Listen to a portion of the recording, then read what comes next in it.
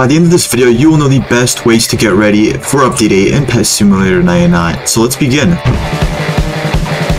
So the most signature classic way of actually getting ready for Update 8 in Pet Simulator 99 is actually selling all of these stat pets because if you don't sell them, they are just going to turn into a big old value of zero and I don't think a lot of people like that. So I recommend you sell them as soon as possible because the update is going to be out in 16 hours. And this brings us to another way of actually getting ready and that is stocking up on diamonds because there might be something like a diamond wheel or like something else that you are going to want to try out and you're just not going to have enough diamonds. So make sure you actually do that because it's going to get you even more ready. And also if you just look down a little bit, we have the coins. So you're going to want to actually also get to max coins because if you don't get to max coins, who knows, like this this thing right here, the next area might be max coins.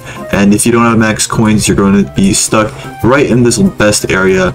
And I don't think anyone wants to be stuck here. Everyone just wants to move on into Rebirth 6 and just go on from there. However, this is not as good as the best way that I'm going to show you by the end of this video, so make sure you stick around. Another thing you want to do is go into your inventory and stock up on a lot of these fruits because these are going to come in handy when you actually grind the new areas. This also applies to the fruits. And also if you have some bundles lying around, make sure to open them up if you were not planning to actually sell them. Potions are another great way to get ready for update 8 because it allows you to actually get boosts while you're grinding in the new areas. Another great way of getting ready is actually stocking up on these tier 8 enchants because they're going to increase your chances uh, of actually getting good loot from each area and also helping you move on from one area to another. And finally, the best way of actually getting ready for update 8 is going to be grinding for ranks because as you can see, that you're going to get 19 of, the, of these hype eggs, which have a Titanic and a huge chance,